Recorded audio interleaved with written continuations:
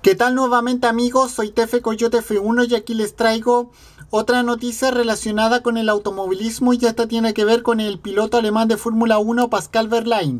Bueno, la escudería Sauber, eh, escudería en la que este año va a correr el alemán Pascal Verlaine, eh, ha confirmado que eh, el alemán, el nuevo piloto del conjunto suizo, ha pasado por exámenes médicos tras eh, su accidente eh, en la Race of Champions que se disputó, como sabemos, en Miami el mes pasado.